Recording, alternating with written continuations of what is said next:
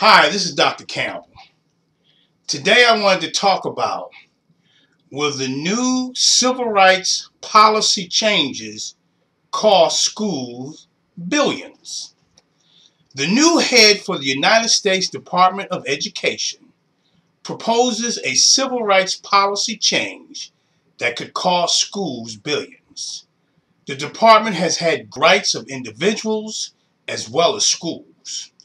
Schools can avert these additional costs by applying several proactive strategies before the new civil rights policy change takes place. Now, according to the article that I was reading, which is titled, Education Department says it will scale back civil rights investigations.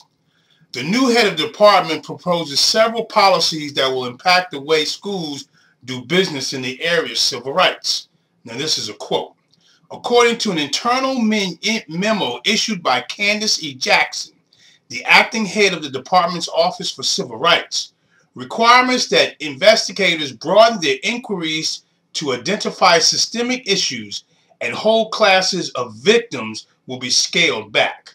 Also, regional offices will no longer be required to alert department officials in Washington of all highly sensitive complaints on the issues such as um, disproportionate discipline of minority students and the mishandling of sexual assaults on college campuses. End of quote.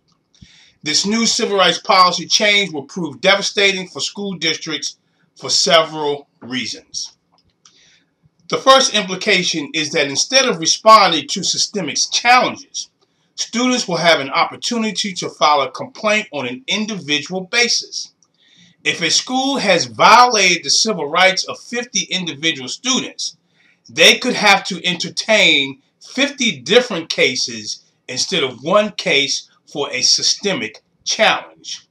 Now, according to a um, law practice that I found, in the case of a respondent who has more than 14 or fewer than 101 employees in each of 20 or more calendar weeks in the current preceding year, that case can go for 50,000. A case where there are 100 to 201 employees, that case can go for $100,000. A case where you have 200 and fewer than 500 employees, that case could go for $200,000. And a case of 500 or more employees could go for $300,000. Rights policy change damages can range from 50,000 to 300,000 depending upon the number of employees in the school or the school district. Now, in the example that I gave you for 50 different incidents, that range is 2.5 million to 15 million. And according to the 2002 census, there are 13,506 school district, districts in the United States. With each school district settling with at least 50 students, the cost for the schools for this civil rights policy change can range from 33 billion to 202 billion dollars per year. You see, the old civil rights policy where complaints had an opportunity to utilize the United States Department of Education Office of Civil Rights, this was a benefit for many schools. It first provided the opportunity to settle disputes at the lowest level possible. Secondly, it provided an opportunity to weed out frivolous cases. Finally, it provided the federal government the opportunity to remain at the forefront of ensuring the civil rights of all individuals. And so I have a few recommendations for schools as they move forward.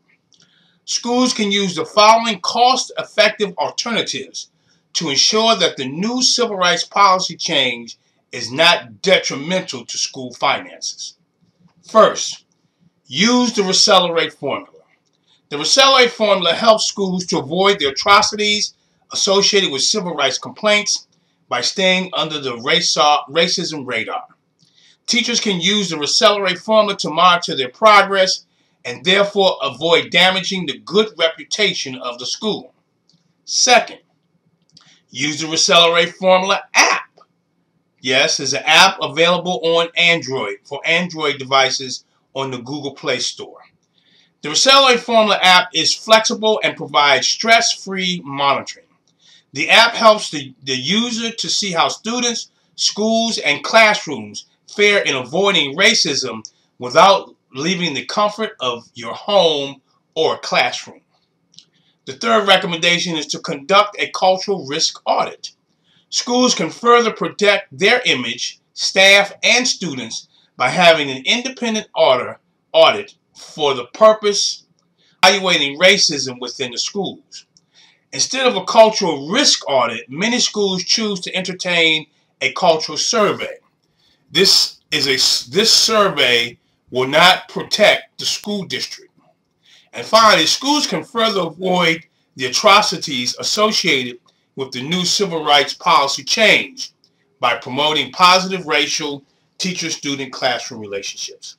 This is Dr. Campbell. You can read about this article as well as additional information on my website at www.positiveracialrelationships.com. And of course, if you want to talk about it, you can call me on my direct line, 856-566-3267. Have a great day, and thank you very much. Yeah. Be sure to check out positiveracialrelationships.com. Check it. Look, uh, yo. Pull your pencils out, class is in session. Let's focus on loving our neighbor without a question. Visit positiveracialrelationships.com. Leading classrooms together like a marriage bond. Kick racism out, that ain't what life's about. For more information, check the website out. Yeah.